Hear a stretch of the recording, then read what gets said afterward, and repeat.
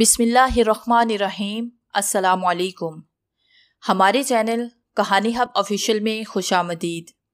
ناظرین، میں آج آپ کے لیے انتہائی خوفناک اور دلچسپ کہانی لے کر آئی ہوں۔ لیکن کہانی شروع کرنے سے پہلے آپ سے گزارش ہے کہ اگر آپ نے ہمارا چینل سبسکرائب نہیں کیا، تو آپ ہمارے اس چینل کو سبسکرائب کر لیجیے اور بیل آئیکن کو بھی پریس کر لیں تاکہ ہر نئی آنے والی ویڈیو بآسانی آپ تک پہنچ سکے۔ پیشی خدمت ہے ناول قبر کا بیٹا ایپیسوڈ نمبر سات۔ خان صاحب، یہ وہ لڑکیاں ہیں جنہیں دھرم ناتھ نے اغوا کر کے قید کیا ہوا تھا۔ اور یہ نوجوان بھی اس کی قید میں تھا۔ دھرم ناتھ کے جرائم کی گواہی یہاں کی داسیوں سے تمہیں مل جائے گی۔ دھرم ناتھ کے جرم شریک یہ جھوٹے پجاری آپ کے سامنے ہیں۔ ان سے ان کے جرائم کا اعتراف کرانا آپ کا کام ہے۔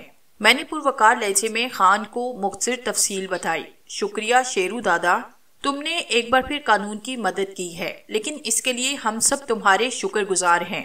خان نے کرم جوشی سے مجھے گلے لگاتے ہوئے کہا، اوکے خان صاحب، باقی باتیں پھر ہوں گی۔ اب اجازت۔ میں نے مسکرا کر خان سے علیحدہ ہوتے ہوئے کہا، اوکے، ایک بار پھر آپ کا بہت شکریہ شہریار احمد۔ خان نے مجھے ماتھے پر ہاتھ رکھ کر سلام کرتے ہوئے آہستہ سے کہا، اور میں مانی ہی اس نظر سے اسے دیکھتا ہوا مندر سے باہر چل پڑا۔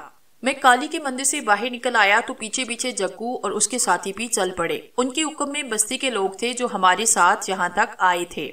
ان کے چہرے خوشی سے مہک رہے تھے۔ اس کے باوجود کہ دھرم ناتھ پکڑا نہیں جا سکا تھا، مگر اس کا چہرہ بے نقاب ہونے اور اس کے فرار ہونے پر بھی انہیں بہت زیادہ خوشی تھی۔ اور شاید اس لیے بھی کہ انہیں اب اس بات کا یقین ہو گیا تھا کہ مجرم کے فرار ہو جانے سے ان کی ماؤں اور بہنوں کی عزت محفوظ ہو گئی ہے۔ یہ لوگ پورے جوش و خروش کے ساتھ نعرے لگاتے ہوئے میرے پیچھے چلے آ رہے تھے۔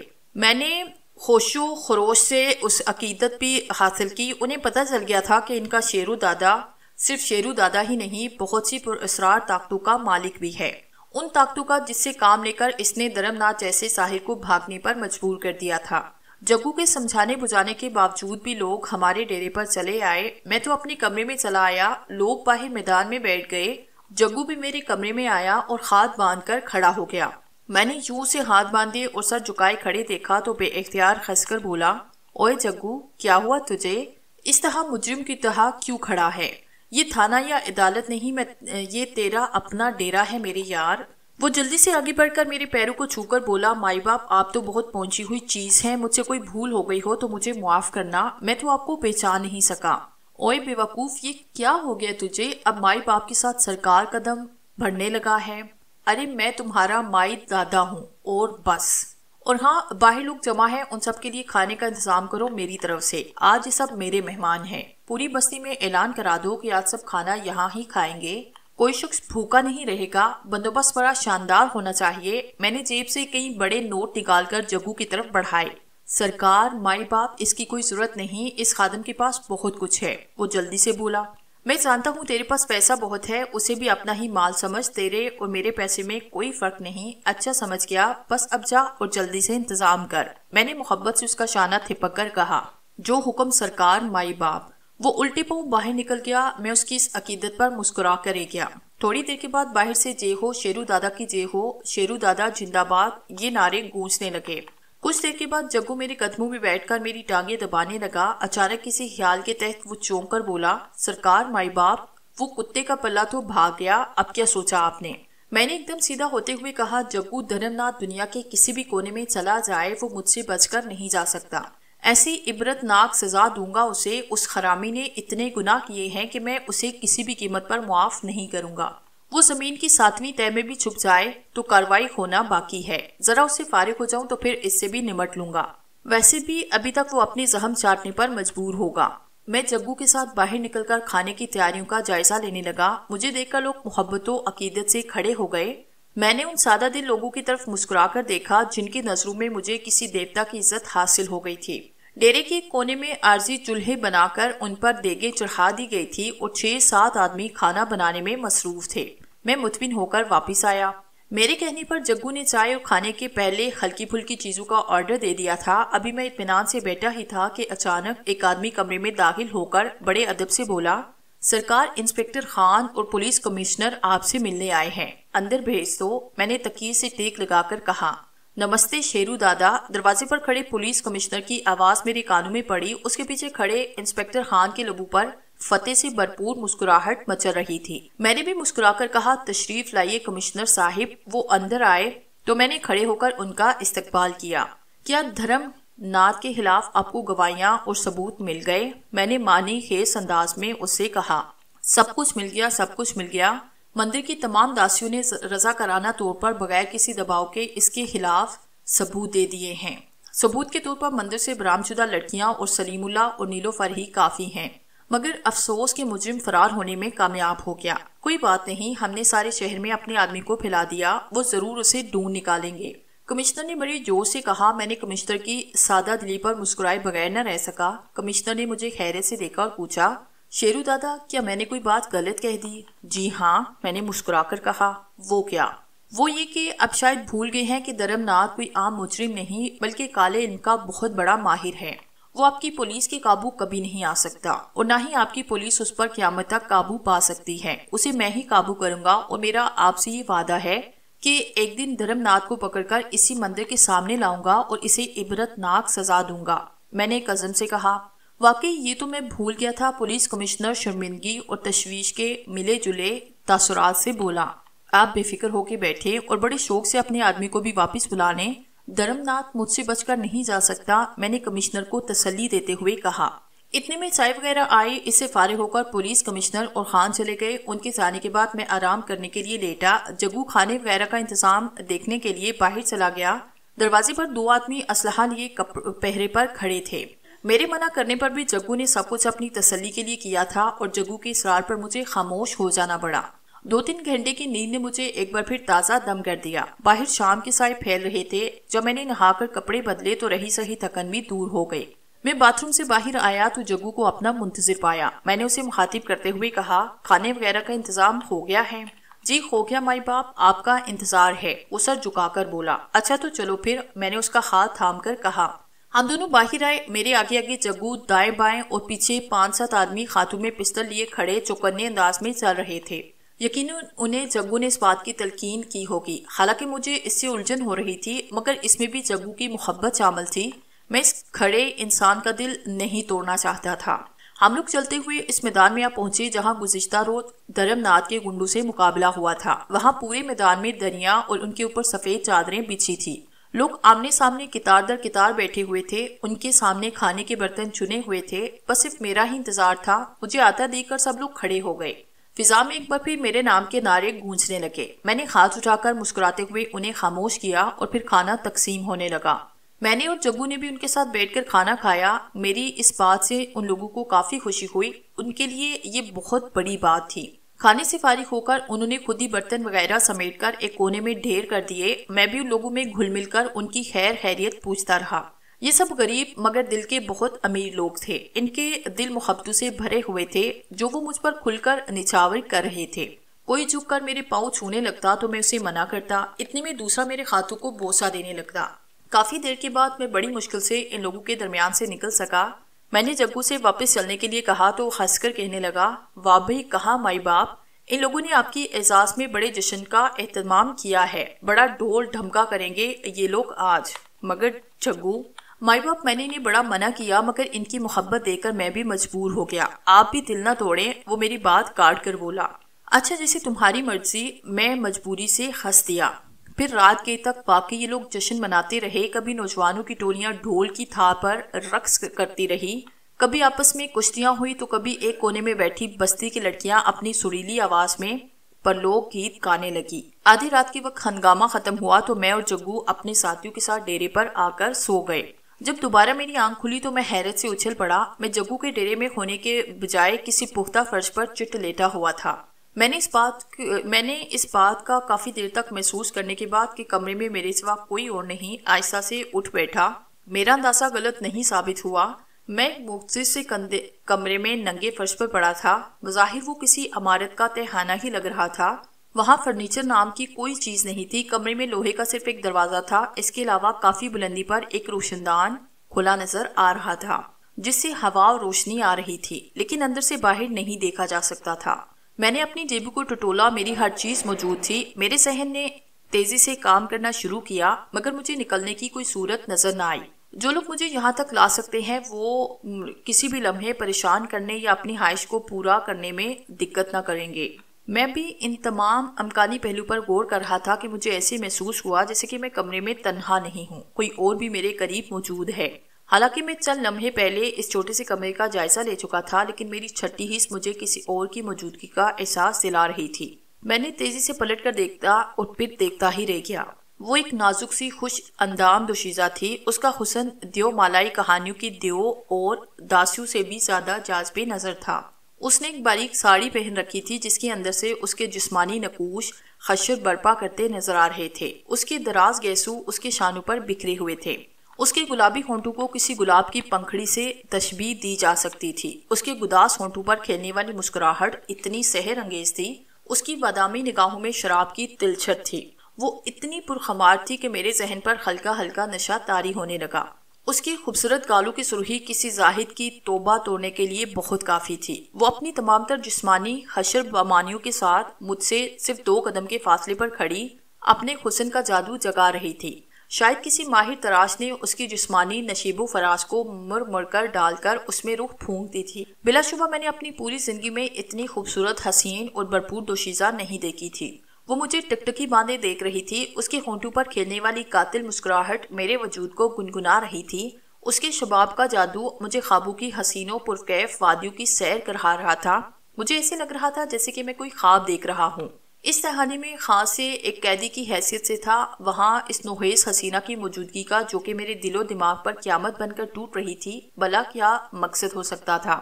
اور کمرے میں وہ کس وقت اور کس راستے سے داخل ہوئی کہ مجھے اس کی بھی کوئی متعلق خبر نہیں ہو سکی؟ کیا میرے دشمن مجھے ایک حسینہ کے ذریعے تصہیر کرنا چاہتے ہیں جو اپنا جواب آپ ہی؟ میرے ذہن میں یہ خیال تیزی سے ابھرا۔ دنیا میں ایسے بے شمار واقعات رونما ہو چکے ہیں جہاں کسی حسین عورت کی اشوا ترازیوں نے دنیا کے نامور دانشوروں کو اس حسن سے بے مثال کی سواری کی خاطر گوڑا بننے پر مجبور کر دیا تھا۔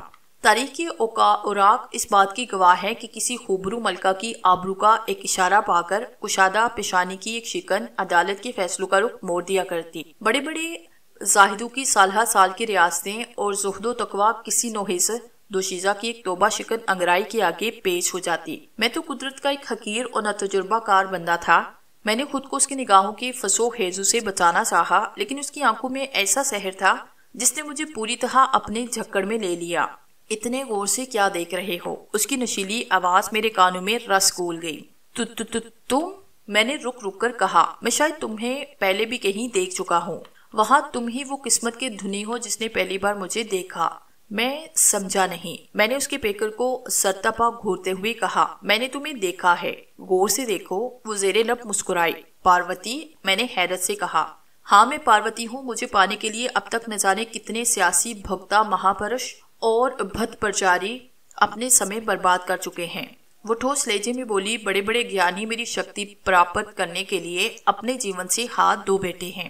کوئی بھی اپنے مقصد میں سہل نہیں ہو سکا۔ پرنتو، تمہاری بات اور ہے۔ وہ مانی ہی اس انداز میں مسکرائی تم مجھے سندر لگے تھے اور تم قسمت کے دھنی ہو کہ کسی چاپ اور بیٹے کے بغیر تمہاری خات آ گئی۔ لیکن تم مجھ پر کیوں مہربان ہو گئی ہو؟ میں نے کہا نا کہ تم مجھے سندر لگے تھے، اسی کارن تمہیں اس دھرتی کا سب سے بلوان منش تمہارے پاس آ گئی۔ اس کے لہجے میں اپنائیت تھی۔ اگر میں بلوان نہ بننا چاہوں تو میں نے اس سے سوال کیا۔ اب تمہارے چاہنے یا نہ چاہنے سے کچھ نہیں ہوگا۔ اس نے مجھے پیار سے گھورتے ہوئے فیصلہ کن لہجے میں کہا، اب صرف وہی ہوگا جو میں چاہوں گی۔ لیکن، مورکھو جیسی باتیں مت کرو۔ اس نے تیزی سے میری بات کاٹتے ہوئے کہا تم ابھی پوری طرح سے پاروتی کی یہاں شکتی سے جانکاری نہیں رکھتے۔ میں جو چاہتی ہوں وہ اوشی پورا ہوتا ہے۔ اس دھرتی کی کوئی شکتی پاروتی سے زیادہ مہان نہیں۔ ابھی تم نے صرف پاروتی کو صرف پاروتی کے روپ میں دیکھا ہے۔ اس کی شکتی کا چمکتکار اور روپ دیکھو گے تو تمہاری آنکھیں کھلی کی کھلی رہ جائیں گی۔ کیا تمہیں معلوم ہے کہ میں یہاں تک کیسے پہنچا؟ تم یہ بات پاروتی سے پوچھ رہے ہو جس کی شکتی اپرم پار ہے، وہ خلا میں گرتے ہوئے سنجیدگی سے بولی۔ میں سمندر کی گہرائیوں میں بھی جھانک سکتی ہوں، تمہیں یہاں تک راجہ ارجن سنگھ اور اس کے چیلے دھرم ناتھ نے پہنچایا ہے۔ میں راجہ ارجن سنگھ اور دھرم ناتھ کا نام سن کر حیرت سے اچھل پڑا۔ میرے ذہن کی کسی گوشے میں بھی نہ تھا کہ میرا ٹکڑا دوبارہ راجہ ارجن سنگھ سے بھی ہو سکتا ہے۔ کیا دھرم ناتھ اور راجہ ارجن سنگھ دونوں آ رہے ہیں؟ میں نے گفتگو کا رخ بدلا۔ تم چنتا مت کرو، پاروتی کے ہوتے ہوئے کوئی تمہارا بال بھی بیکا نہیں کر سکتا۔ اس نے بڑے عجیب سے انداز سے میری طرف دیکھا، لیکن دوسرے کے لمحے وہ خلا میں گرتے ہوئے سنجیدگی سے بولی، راجہ، ارجن سنگھ دھرم ناتھ اور اس کے سنگی ساتھی یہاں پہنچنے والے ہیں۔ مجھے بتاؤ، کیا میں ان سب کو نرک میں جھونک دوں؟ نہیں میں نے کچھ سوچتے ہوئے کہا، تم نہیں جانتے شہریار پاروتی نے خون کاٹتے ہوئے کہا، راجہ، ارجن سنگھ اس ناک سے بھی زیادہ خطرناک ہے، جس کے کاٹے کا کوئی منتر نہیں ہوتا۔ میں نے اسے شما کیا، تب بھی یہ چین سے نہیں بیٹھے گا۔ تمہیں مارنے کے لیے نئے نئے جنتر منتر آزماتا رہے گا۔ کیا تم راجہ ارجن سنگھ اور دھرم ناتھ کو یہاں آنے سے کچھ دیر کے لیے روک نہیں سکتی؟ مجھے بتاؤ کہ تمہارے من میں کیا ہے۔ میں جانتا ہوں کہ تم کسی طرح بھی انسپیکٹر خان کو باخبر کر دو، میں نے سنجیدگی سے کہا۔ میں چاہتا ہوں کہ راجہ ارجن سنگھ دھرم ناتھ اور اس کے ساتھی رنگے ہاتھوں پکڑے جائیں تاکہ انہیں پتہ چل سکے کہ میں ان کے ہر وار کا توڑ کر سکتا ہوں۔ جیسے تمہاری مرضی۔ پاروتی، میں نے حالات اور موقع نزاکت کو نظر انداز کرتے ہوئے ایک بار پھر بڑی اچاٹ سے کہا۔ کیا میں تمہارے حسین و خوبصورت جسم کو چھو کر محسوس بھی کر سکتا ہوں؟ نہیں، پاروتی نے تیزی سے کہا۔ جب تک میں نہ کہوں، تم کبھی بھولے سے بھی میرے جسم کو خاص لگانے کی کوشش نہ کرنا۔ کیوں؟ جب دو شکتیاں آپس میں ٹکراتی ہیں، تو ان میں سے کوئی ایک چل کر بسم ہو جاتی ہے۔ پاروتی نے مانی ہی اس انداز میں مجھے گورتے ہوئے کہا۔ پھر اچانک سے وہ میری نگاہوں سے غائب ہو گئی۔ پھر میں چونک کر اس کے حسین تصور سے دل بہلاتا رہا۔ نہ جانے کتنی دیر گزری تھی کہ مجھے اچانک ایسے محسوس ہوا جیسے کہ پورے تہانے میں زلزلہ آیا ہو۔ میں نے اپنے آپ کو سنبھالنے کی بڑی کوشش کی، لیکن میں اپنی اس کوشش میں کامیاب نہ ہو سکا۔ میرا ذہن آہستہ آہستہ تاریکی میں ڈوب گیا۔ نہ جانے میرا ذہن کتنی دیر تک تاریکی میں سفر کرتا رہا، پھر آہستہ آہستہ اندھیرا چٹنے لگا۔ تاریکی جگہ نے روشنی لینا شروع کی اور میرا خر شعور لمحہ بلمحہ جاگنا شروع ہو گیا۔ پھر میں نے ایک جھٹکے کے ساتھ آنکھیں کھولی۔ دوسرے کے لمحے مجھے حیرت کا شدید ترین جھٹکا لگا۔ میں ایسی جگہ موجود تھا جہاں چاروں طرف صرف پہاڑ ہی پہاڑ تھے۔ دور تک پہاڑ کی چوٹی پر مجھے ایک شاندار منظر نظر آیا۔ میں اٹھ کر اس مندر کی طرف چل پڑا۔ میری سمجھ میں نہیں آ رہا تھا کہ میں وہاں سے یہاں تک کیسے پہنچا۔ مجھے اچھی طرح یاد ہے کہ مجھے پاروتی نے ہی بتایا تھا کہ دھرم ناتھ اور راجہ ارجن سنگھ اور اس کے ساتھی آ رہے ہیں اور اس کے بعد ایک دم سے تہانے میں مجھے زلزلہ آتا ہوا محسوس ہوا تھا۔ اس کے بعد میرا ذہن مکمل تاریکی میں ڈوب گیا اور میں چلتا ہوا مندر کی گیٹ پر پہنچ گیا۔ مندر کے گیٹ پر ایک سنہری تاج والے سام کا مجسمہ تھا۔ میں نے ادھر ادھر نظریں درائی مجھے بہت سے سام آزادانہ طور پر وہاں گھومتے ہوئے نظر آئے۔ جگہ جگہ خوبصورت چاندی اور پیتل کے پیالے پڑے تھے جو دودھ سے بھرے ہوئے تھے۔ بہت سے سام بڑی بے فکری سے پیالوں میں منہ ڈالے دودھ پی رہے تھے۔ انہیں مندر میں آنے جانے والوں کی کوئی پرواہ نہ تھی اور نہ ہی مندر میں آنے والے لوگ ان ساپوں سے خوفزدہ دکھائی دے رہے تھے۔ اور جب آگے بڑھا، ایک بہت بڑا وسیع خال تھا۔ سامنے ایک بہت بڑے چبوترے پر ایک بہت بڑے سام کا بت موجود تھا۔ اس بت پر جابجا خوبصورت ہیرے موتی جڑے ہوئے تھے۔ بہت سے لوگ اس کے سامنے سر جھکائے پوجا میں مصروف تھے۔ میں وہاں سے نکل کر اور آگے بڑھا۔ مختلف کمروں سے ہوتا ہوا ایک کمرے کے سامنے پہنچ کر رکا۔ دروازہ کھلا تھا۔ درن ناتھ سامنے ایک چوکی پر بیٹھا، پیٹ پوجا میں مصروف تھا۔ حیرت انگیز طور پر اس کے زہم ماند ہو چکے تھے۔ وہ کافی بے فکر نظر آ رہا تھا۔ اچانک مجھے پائل کی چھنکار سنائی دی، آواز قریب آتی گئی اور پھر میں ایک دم سکتے میں آ گیا۔ وہ ایک قیامت تھی، قدرت کی حسین رایانو کی مکمل شاہکار۔ میں نے زرک برگ چولی اور لہنگا پہن رکھی تھی۔ گلے میں قیمتی پتھروں سے مزین مالا تھی۔ کسی جوگن کی طرح بال گندے ہوئے تھے۔ بڑی بڑی خرنی جیسی سیاہ آنکھیں جنہیں دیکھ کر کوئی بن پیے ہی مدہوش ہو جائے دودھ میں نہایا ہوا سنگے مرمر کی طرح سفید بدن جیسے کسی ماہر سنگ تراش نے اس تراشے میں اپنے فن کی انتہا کر دی ہو۔ سرخ یاقوتی ہونٹ کشادہ پیشانی جس پر ایک خوبصورت چھوٹا سا سونے کا سنہری سانپ چپکا ہوا تھا، اس کے حسن نے میرے خوش و خاص گھوم کر دیے تھے۔ اچانک دھرم ناتھ کی آواز نے مجھے واپس میری دنیا میں دھکیلا۔ آؤ آؤ مدو کیسی ہو تم؟ درم ناتھ کی آنکھوں اور اس کی آواز سے صاف طور پر اس کا جنسی ہجان چھلک رہا تھا۔ اچھا تو اس قیامت کا نام مدھو ہے۔ میں نے سوچا، اچھی ہوں مہاراج، ابھی ابھی پنڈت مجھے بتایا کہ آپ پدار رہے ہیں، بس سنتے ہی درشن کرنے چلی آئی۔ وہ مسکراتے ہوئے خاص جوڑ کر بولی، یوں لگا جیسے دو مندر میں گھنٹیاں بج رہی ہوں۔ ہاں ہم ابھی آئے ہیں۔ آؤ نہ ہمارے پاس بیٹھو۔ درم ناتھ کی آنکھوں میں شیطانیت ناچ رہی تھی۔ اس نے مدھو کا ہاتھ تھام کر اسے اپنے قریب بٹھایا مدھو مسکراتی ہوئی اس کے قریب بیٹھ گئی۔ میں دم بہت سب کچھ دیکھ رہا تھا۔ درم ناتھ کھانا چھوڑ کر اب پوری طرح مدو کی طرف متوجہ ہو چکا تھا۔ پھر ادھر ادھر کی باتیں کرتے کرتے کرتے اس کے ساتھ دست دردازی کرنے لگا۔ اس کی آنکھیں خلناک انداز میں مدو کے جسم کا طواف کر رہی تھی۔ اچانک مدو تڑپ کر کھڑی ہو گئی۔ ارے تم کھڑی ہو گئی؟ بیٹھو نا مدو رانی، اتنی مدت کے بعد تو آج درشن ہوئے ہیں۔ درمنات بے قرار ہو کر اس کی طرف بڑھا۔ شما کیجیے مہاراج، وہ ہاتھ جوڑ کر عجیب سے لہجے میں بولی، آپ جو جانتے ہیں کہ کوئی منش میرے شریر کو چھو تو سکتا ہے، پرنتو اسے آگے بڑھنا کسی کے بس کی بات نہیں۔ آپ کے لیے بھی نہیں۔ تو پھر کیوں میری سوئی ہوئی آشا کو جگا رہے ہیں؟ آپ بڑے بلمان ہیں مہاراج پرنتو، میری نس نس میں دوڑتے ہوئے زہر کے سامنے آپ بھی فراش ہو کر رہ جائیں گے۔ اور پھر میں ایک لمبے عرصے تک اکیلی تڑپتی رہوں گی۔ اس کی آنکھوں میں نمی تیر رہی تھی، وہ بہت دکھی نظر آ رہی تھی۔ پھر جیسے درم ناتھ بھی خوش میں آیا۔ وہ ایک دم اپنی جگہ پر رکا، وہ یوں لمبے لمبے سانس لے رہا تھا۔ جیسے بہت طویل فاصلہ طے کر کے آیا ہو۔ پھر وہ شکست تھوڑا لہجے میں بولا، میں بھول گیا تھا مدو تیرا بےپنا حسن دیکھ کر میں سب کچھ بھول گیا تھا۔ میں بھول گیا تھا کہ تیرے شریر میں لہو کی جگہ زہر دو رہا ہے اور میں تجھے دیکھ کر تو، میں تجھے دیکھ تو سکتا ہوں، پرنتو اپنا نہیں سکتا۔ یہ بڑا انیائی ہوا تیرے ساتھ، تیری جوانی کے ساتھ۔ تو نے ساری زندگی یوں ہی بتائی۔ وہ نامرادی سے خات ملتا ہوا بولا ہاں مہاراج، یہی میرا لیک ہے۔ ناگ دیوتا کی یہی اچھا ہے۔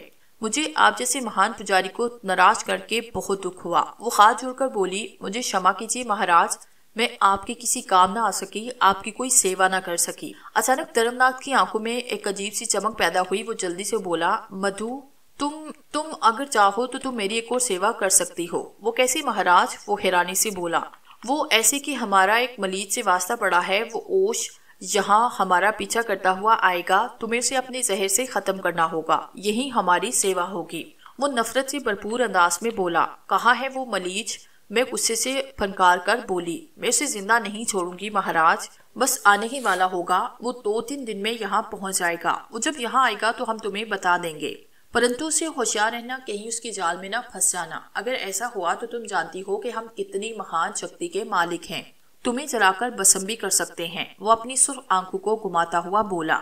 آپ چنتا نہ کریں، مہاراج، ہر کام آپ کی مرضی کے مطابق ہوگا۔ بدو نے سر جھکا کر خوفزدہ انداز میں کہا، اب مجھے آگیا دیں، پوجا کا وقت ہوا جا رہا ہے۔ ٹھیک ہے، تم جاؤ۔ درنات ہاتھ اٹھا کر بولا، پھر ایک کونے میں پڑے تکیے سے ٹیک لگا کر بیٹھ گیا۔ مدو آہستہ آہستہ الٹے پاؤں چلتی ہوئی کمرے سے باہر نکل گئی۔ مدو کے نکلتے ہی میں تیزی سے کمرے میں آیا۔ میں احتیاط سے درم ناتھ کی طرف بڑھنے لگا۔ میں درم ناتھ کو اب فرار ہونے کا کوئی موقع نہیں دینا چاہتا تھا۔ میری ذرا سی لاپرواہی اسے چکنی کر دیتی۔ اسی وجہ سے میں بڑی احتیاط اور صبر سے کام لے رہا تھا۔ میرے اور درم ناتھ کے درمیان کا فاصلہ لمحہ بلمحہ کم ہوتا جا رہا تھا۔ فیصلے کی کڑی لمحہ بلمحہ قریب سے قریب تر ہوتی جا رہی، جس کا مجھے شدت سے انتظار تھا۔ اب میں درم ناتھ سے صرف ایک منٹ کے فاصلے پر تھا۔ میں نے ہاتھ بڑھا کر درم ناتھ کو بالو سے پکڑنے کے لیے ہاتھ بڑھایا، لیکن مجھے میرے ارادے میں کامیابی نہ ہوئی۔ کسی نادیدہ قوت نے جیسے میرے جسم پر قبضہ کر لیا ہو، میرے اعصاب ایک دم ہی شل ہو گئے۔ میرے رگو پے میں خوف کی ایک لہر سرایت کر گئی۔ فوری طور پر میری ذہن میں یہی خیال ابھرا جیسے گندی اور ناپاک قوتیں اپنے مقصد میں کامیاب ہو گئی ہوں۔ اسے قبل کہ میں کچھ مزید سمجھتا، اچانک دھرم ناتھ کے سامنے والی زمین پر گہرا شگاف پڑا اور اس میں سے ایک پنڈت باہر آیا۔ وہ باہر آتے ہی آلتی پالتی مارے زمین اور چھت کے درمیان متعلق ہو گیا۔ اس کی داڑھی اور مجھے کسی خود جھاڑی کی طرح بڑی ہوئی تھی۔ جسم پر گرد کی طے موجود تھی۔ دونوں ہاتھ اس نے مضبوطی سے گھٹنوں پر جماعت کیے تھے۔ اس کے جسم پر ایک لنگوٹی کے سوا کچھ نہ تھا۔ ماتھے پر ببود کی لکیریں تھی وہ بھی اپنا رنگ تبدیل کر کے دھدلانے لگی تھی اس کی حیبت بتا رہی تھی کہ وہ ایک طویل عرصے سے اسی حالت میں بیٹھا ہو، میرا اور اس کا فاصلہ بمشکل دس گھس رہا ہوگا۔ زمین کے شک ہوتے ہی درمنات تیزی سے اٹھ کھڑا ہوا۔ مہاراج، آپ اور درم ناتھ نے بکھلائی ہوئی لہجے میں پوچھا، مگر اس نے تو جیسے درم ناتھ کی سنی ہی نہ تھی۔ وہ تو اپنی سرخ آنکھوں سے مجھے گور رہا تھا۔ درم ناتھ نے اس کی نظروں کا تعاقب کیا اور جب درم ناتھ کی مجھ پر نظر پڑی تو وہ یوں اچھلا، جیسے اچانک اسے کسی بچو نے ڈنگ مارا ہو۔ میں نے ایک بار پھر آگے بڑھنے کی کوشش کی، لیکن میں اپنی کوشش میں کامیاب نہ ہو سکا۔ پھر اس نے تیزی سے اپنے دونوں ہاتھ فضا میں بلند کیے۔ اس کے ہاتھ بلند کرتے ہی اس میں سے نیلی شوائیں نکل کر میرے جسم سے ٹکرائی مجھے ایسے لگا جیسے کسی نے تیزاب میرے اوپر انڈیل دیا ہو اور ہر ایک سیکنڈ کے بعد میری جسمانی تکلیف میں اضافہ ہوتا جا رہا تھا۔ میرا دماغ سوچنے سمجھنے کی صلاحیت سے مرحوم ہوتا جا رہا تھا۔ اس سے پہلے کہ راجہ ارجن سنگھ اپنے مقصد میں کامیاب ہوتا، کمرے کی چھت پر ایک خلا نمودار ہوا۔ اس کے ساتھ ہی میرے جسم کو جھٹکا لگا۔ جیسے ہی میرے جسم کو جھٹکا لگا، میں نے تیزی سے آگے بڑھ کر درم ناز کو بالوں سے پکڑا۔ مگر دوسرے ہی لمحے مجھے ایک اور جھٹکا لگا اور میرے پیروں نے زمین چھوڑ دی۔ مجھے یقیناً کسی نے بالوں سے پکڑ کر اٹھایا، میں آہستہ آہستہ ان نادیدہ ہاتھوں کے شکنجے میں پھنسا، فضا میں بلند ہو رہا تھا اور درم نات کو بالوں سے پکڑا ہوا تھا، اس لیے وہ بھی میرے ساتھ فضا میں بلند ہوتا چلا گیا۔ ہم اتنی تیزی سے فضا میں بلند ہوتے جا رہے تھے کہ مجھے آس پاس کچھ نظر نہیں آ رہا تھا۔ نیچے دیکھا تو بلڈنگیں کھلونے کی طرح نظر آ رہی تھی۔ اچانک ہی نادیدہ خاتون نے میرے بالوں کو چھوڑا اور میں دھرم ناتھ تیزی سے اتنی بلندی سے زمین کی جانب جانے لگے میرے دل کی دھڑکن لمحہ بلمحہ تیز ہوتی جا رہی تھی۔ مجھے اپنی موت کا یقین ہو گیا تھا۔ ہم دونوں کسی بھی جان تنکی کی طرح سے زمین کی طرف جا رہے تھے۔ ہم دونوں ہی جانتے تھے کہ اس سفر کے اختتام پر بھیانک اور لرزہ حس موت، جبڑا کھولے ہماری منتظر ہے۔ زمین کے بعد، زمین سے ٹکرانے کے بعد شاید ہماری ہڈیوں کا وجود بھی نہ ملتا۔ ہمارے اور زمین کے درمیان فاصلہ کم سے کم ہوتا جا رہا تھا۔ ہر آنے والے لمحے پر میرے دل کی دھڑکنیں بے ترتیب ہوتی جا رہی تھی۔ آنے والا ہر لمحہ مجھے موت سے قریب تک کرتا جا رہا تھا۔ میں نے موت کے خوف اور بے بسی سے آنکھیں بند کی، مگر دوسرے ہی لمحے میرا دماغ چکرایا۔ مجھے کسی نے اتنی شدت سے تھپڑ مارا کہ میں فضا میں ہی کئی کلا بازیاں کھاتا چلا گیا اور اس کے ساتھ ہی میرا ذہن تاریکی میں ڈوبتا چلا گیا۔ میں کتنی دیر تک بے ہوشی کی کیفیت سے دوچار رہا، اس کے متعلق مجھے کوئی علم نہیں، لیکن جب سے دوبارہ میری آنکھ کھلی تو میں نے ہڑبڑا کر اٹھ بیٹھا۔ مجھے اپنی قوت بنائی پر شبہ ہو رہا تھا۔ یہ کسی پہاڑ کی چوٹی تھی اور میں اس پر موجود تھا۔ میرے قریب ہی میری مشین پسٹل موجود تھی۔ یہ سب کیسے ہوا؟ پھر پچھلا سارا منظر مجھے یاد آیا۔ مجھے فضا میں تھپڑ مارنے والا کون تھا؟ مجھے ناگ مندر سے اٹھا کر لانے والا کون تھا؟ اور میں اس پہاڑی پر زندہ سلامت کیسے پہنچا؟ یہ سب ایسے سوال تھے جن کا میرے پاس کوئی جواب نہ تھا۔ میں نے اس پہاڑی کا جائزہ لیا جس پر میں موجود تھا۔ تو وہ بے حد سخت اور مضبوط تھے میں ابھی اسی جائزے میں مصروف تھا کہ اچانک کسی جانب سے تیز شور کی آواز سنائی دی۔ چاروں طرف اونچے اونچے پہاڑ ہونے کی وجہ سے سمت کا اندازہ نہ ہو سکا۔ جب میں نے نظریں گھمائی تو دائیں جانب والی پہاڑ کی چوٹی پر بے شمار تندرست و توانا قبائلی شور مچاتے نظر آئے۔ ان کے جسموں کی رنگت زردی مائل تھی اور جسموں پر پہاڑی جانوروں کی طرح کھالیں نظر آ رہی تھی۔ درندے کی کسی بھڑکے ہوئے گول کی طرح وہ تیزی سے نیچے آئے اور پھر گاہے بغاہے مجھ پر پڑنے والی نظروں میں میرے لیے نفرت ہی نفرت تھی۔ ان لوگوں کو ایسے اپنی طرف بڑھتا دیکھ کر میری ریڑھ کی ہڈی میں سرد سی لہر دوڑ گئی۔ میں نے اپنے قریب پڑی ہوئی مشین پسٹل اٹھائی اور بنا سوچے سمجھے ایک ہوائی فائر کیا۔ پہاڑوں سے گرے اس خطے میں دھماکے کی آواز اتنی محیب اور طویل تھی کہ میں بھی چونک پڑا۔ دھماکے کی آواز دور تک یوں گونجتی چلی گئی جیسے کوئی پلاٹون وقفے وقفے سے فائر کیے جا رہی ہو ان لوگوں پر اس فائر کا ذرا بھی اثر نہ ہوا۔ وہ چیختے چلاتے، گرتے پڑتے بندروں کی پھرتی کے ساتھ بینوان پر جا پڑے اور دیکھتے ہی دیکھتے نظروں سے اوجل ہو گئے۔ وقتی طور پر تو میں نے ان سے چھٹکارا حاصل کر لیا تھا، مگر مجھے نہ جانے کیوں یقین تھا کہ ان کی یہ روپوشی عارضی ہے۔ میں وہاں سے اٹھ کر تیزی سے لپٹ کر ڈلہان پر چڑھنے لگا۔ میں ابھی وہ نصف ڈلوان بھی طے نہیں کر پایا تھا کہ اوپر بے شمار قبائلی چہرے نظر آئے اور میرے سنبھلنے سے پہلے ہی انہوں نے مجھ پر پتھراؤ کر دیا۔ میں گرتا پڑتا بمشکل نیچے تک آیا، پھر دو تین پتھر لگے۔ نیچے پہنچنے کے بعد اب جو میں نے سر اٹھایا تو چاروں طرف اونچی جگہ بے شمار قبائلی موجود تھے اور شور و کل سے پوری وادی سر پر اٹھائے ہوئے تھے۔ یہ تو غنیمت تھا کہ ان کو بیک وقت پتھراؤ کا خیال نہ آیا، ورنہ میں بری طرح سے سنسار ہو کر رہ جاتا۔ میں نے پسٹل کا رخ دیکھنے کے لیے اس کا رخ ایک پہاڑی کی طرف کیا اور قبائلیوں کی پوری دیوار تیزی سے پیچھے سرکتی چلی گئی۔ یہ بھی غنیمت تھا، ورنہ اس پسٹل میں موجود چند گولیاں کتنی دیر تک میرا دفاع کر سکتی۔ میں قبالیوں کو خوفزدہ کرنے کے ساتھ ساتھ اپنے لیے کوئی راہ تلاش کرنے لگا۔ ایک پہاڑی کا انتخاب کر کے میں دوڑتا ہوا اس کی طرف گیا۔ قبائلی خوفزدہ ہو کر پیچھے ہٹتے رہے۔ اور میں پیش قدمی کرتا رہا۔ پھر اچانک ہی انہیں ہوش آیا کیونکہ دھماکہ یا نقصان ہوئے بغیر وہ پسپا ہوئے جا رہے تھے۔ تو وہ اپنی جگہ ڈٹ گئے۔ میں نے انہیں ڈرانے کے لیے دو تین مرتبہ پسٹل لہرایا، مگر وہ ٹس سے مس نہ ہوئے۔ آخر میں نے نتائج کی پرواہ کیے بغیر اس بار ان کے غول پر براہ راست ایک فائر کیا۔ ہجوم میں سے بے شمار دہشت زدہ چیہیں بلند ہوئی ایک شخص طرف کر نیچے گرا اور میں نے حیرت سے دیکھا کہ باغنے والوں نے درندوں کی طرح زہمی بدن کو چیر پھاڑ ڈالا اور جس کے خواہ جو بھی آیا وہ لے بھاگا۔ یہ منظر دیکھ کر میرے رونگٹے کھڑے ہو گئے۔ جو ویشی اپنے ساتھیوں کے حق میں ایسے صفاق ہوں، وہ بلا کسی اجنبی کے ساتھ کیا کچھ نہیں کر گزرے۔ دہلان پر چڑھنے کے بعد میرے سامنے ایک مستحے میدان پھیلا تھا۔ اس کی چرچی پر موجود سارے قبائلی ایک طرف بھاگے جا رہے تھے۔ لہٰذا انہیں سنبھلنے کا موقع دیے بغیر میں ان کے تعاقب میں ہوا، اس طرح میں کم از کم ان کی آبادی ضرور دیکھ سکتا تھا۔ وہ لوگ اس قدر تیز بھاگ رہے تھے کہ آنند فانن میں مجھ سے وہ بہت دور نکل گئے۔ میں نے بھی ہمت نہ ہاری اس بھاگ دوڑ کا اختتام پتھر سے بنے ہوئے بے شمار مکانات پر مشتمل ایک آبادی پر ہوا۔ میں آبادی سے چالیس پچاس گز دور ہی رکا۔ وہ لوگ مکانوں کی آڑ میں چھپے پوری طرح سے تیگ رہے تھے۔ ان کے لیے پسٹل جیسا مہلک ہتھیار نیا تجربہ تھا۔ میرے پاس گولیاں کم اور دشمن کی نفری غیر محدود تھی۔ ایسی صورتحال میں طویل مقابلہ میرے لیے سراسر نقصان دہ ہوتا۔ لہٰذا میں نے فیصلہ کیا کہ انہیں اس قدر خوفزدہ کروں کہ سنبھلنا مشکل ہو جائے۔ مجھے اتنا تو یقین تھا کہ اس پسٹل کے سہارے میں بآسانی ان کی بستی میں گھس سکتا ہوں۔ اگر وہاں سے مجھے ان کا کچھ دقیانوسی اسلحہ مل جاتا تو میں کوئی صورت حل نکال سکتا۔ میں نے بستی کی طرف قدم بڑھائے کہ مکانوں کی اوٹ سے پتھروں کا ایک باؤل اڑتا ہوا میری جانب آیا مگر میں بکلاہٹ میں پھینکے ہوئے ان پتھروں سے صاف بچ گیا۔ آگے کی طرف دوڑتے ہوئے جب میں نے ان کی ٹکری کو آر سے نکل کر جگہ بدلتے دیکھا تو بے دریک ایک اور فائر کر دیا۔ بے شمار چیخوں میں ایک چیخ سب پر حاوی تھی۔ اور جب میں پہلے مکان کے قریب سے گزرا تو مجھے ایک لمحے کے لیے خوف محسوس ہوا کہ کہیں کوئی قبالی مجھے زیر کرنے کے لیے آر میں دبکانا بیٹھا ہو۔ مگر اگلے ہی لمحے یہ خیال غلط ثابت ہو گیا۔ وہ اس قدر کم عقل اور خوف زدہ تھے کہ سیدھی اور دوبدو جنگ کے سوا کسی حربے سے واقف نہ تھے۔ آبادی کا وہ حصہ جہاں میں گسا تھا، ویران پڑا تھا، سارے قبائلی آبادی کے آخری سرے پر جا کر بیٹھے تھے۔ مکان کے بس وہ ایک بڑا سا کمرہ تھا، جس میں چند بھونڈی سی چیزیں ادھر ادھر پڑی تھی ایک دیوار پر ایک چوبی دستے والی برہنہ شمشیر چمک رہی تھی۔ میں نے آگے بڑھ کر دیوار سے وہ تلوار اتاری اور چند ہی سیکنڈ میں دوبارہ آبادی کے وس میں نکل آیا۔ آبادی کے دوسری سیرے پر موجود ہجوم کے نظروں کے سامنے آنے کے بعد میں نے ایک ہاتھ میں پسٹل اور دوسرے ہاتھ سے تلوار بلند کی تو وہ سب چینے کی بجائے کچھ کہتے ہوئے زمین پر سجدے میں گر گئے۔ ان آدمہور قبائلوں کا یہ رد عمل میرے لیے بالکل غیر متوقع تھا۔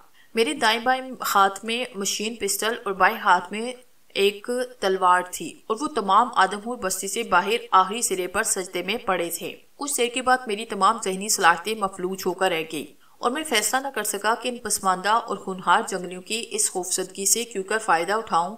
پہاڑی جانوروں کی ابال دار وسنی کھالوں سے ڈکے ہوئے سردی مائل سفید جسموں کی کتار کی کتار سنگلاخ پہاڑی پر سر بچوت تھی اور ساتھ ہی وہ خوفزدہ آوازوں میں کچھ ناقابل فہم کلمات بھی ادا کر رہے تھے۔ تمہارا سردار کون ہے؟ میں نے پوری قوت سے چی کر سوال کیا۔ چند سجدہ ریس پیشانیاں مجبوری اور بے بسی کے عالم میں پتھریلی زمین سے اٹھی اور ان پر چمکتی آنکھیں امید کے ساتھ میری طرف نگران ہو گئی اٹھو۔ یہ جانے کے باوجود کہ میری زبان ان ویشیوں کے لیے اجنبی ہے، میں تلوار لہرا کر پوری قوت سے چیہا میری بات ان لوگوں میں سے کسی کے پلے نہ پڑی، مگر میرا اشارہ وہ سمجھ گئے۔ سب سے پہلے آگے والے زمین سے اٹھے، پھر دیکھتے ہی دیکھتے وہ سب سجے سے اٹھ گئے۔ اس ہجوم میں اب اشتعال اور جارحیت کی بجائے اب سپردگی سی کیفیت تھی۔ وہ سب مجرمیوں کی طرح سر جھکائے کھڑے تھے اور ان کے ہاتھ سینوں پر بندے ہوئے تھے۔ ہجوم کی حالت دیکھ کر مجھے ان کی طرف بڑھنے کا حوصلہ ہوا۔ انہیں آگے بلانا یوں مناسب نہ سمجھا کہ کہیں افراتفری سے فائدہ اٹھا کر ان میں سے کچھ لوگ چھپ کر مجھ پر کوئی مخلق وار نہ کریں۔ پہاڑی پتھروں سے بنے ہوئے بے ہنگم اور نیچی چتوں والے بے شمار مکانات کے درمیان سے گزر کر میں ان کی طرف ہو لیا۔ اس ہجوم سے دس پندرہ گز دور میرے قدم خود بخود رکے۔ ابھی تک مجھے ان کے قریب سے دیکھنے کا موقع نہ ملا، بس ان کے ساتھ آنکھ مچولی ہوتی جا رہی تھی۔ میں ان کے قریب پہنچا تو یک بیک میرے رونگٹے کھڑے ہوئے۔ گو اس وقت وہ خاموش اور سہمے کھڑے تھے، مگر ان کے چوڑے، چکلے، پہاڑی بشو سے عجیب سی وحشت ٹپک رہی تھی۔ بڑی چمکیلی آنکھوں سے خون کسی پیاس نکل رہی تھی۔ ایسی لگ رہا تھا جیسے کہ میں کمزور رسیوں سے بندے ہوئے بدمس ساتھیوں کے کسی گول کے روبرو جا پہنچا ہوں۔ اس وقت پہلی بار مجھے اپنی حماقت کا احساس ہوا۔ اگر وہ لوگ ذرا بھی چلاک ہوتے تو میرے قریب پہنچتے ہی وہ ایک ہی مجھ پر دھاوا بول دیتے۔ کن دھار والی بھونڈی تلوار دو چار کو زخمی کرتی، پسٹل کی دو چار گولیاں دو چار آدمی کم کرتی، مگر پھر وہ میرے بدن کے ٹکڑے پر آسانی اڑا دیتے۔ اور اس کے ساتھ ہی مجھے ان آدم ہور قبائلوں کے تیز اور چمکیلے دانت اپنے بدن میں اترتے محسوس ہوئے اور میں بے احتیاط کپ کپا کے رہ گیا۔